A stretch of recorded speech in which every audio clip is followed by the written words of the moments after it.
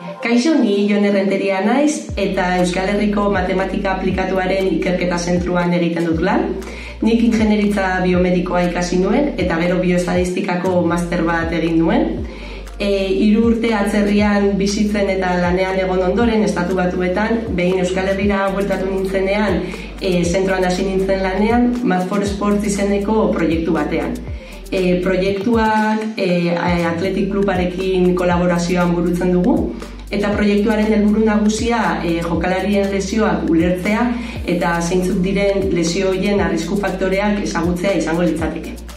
E, gehien gustatzen zaidan edo gehien motibatzen nauen nauena ba, lan honetan dau, e, daukan praktikotasunak nola jokalarien garapenean eragina duen eta gero ba, bi mundu ba, kirola eta medikuntza e, elkartzen dituela ere horrek ba, motibatzen nau.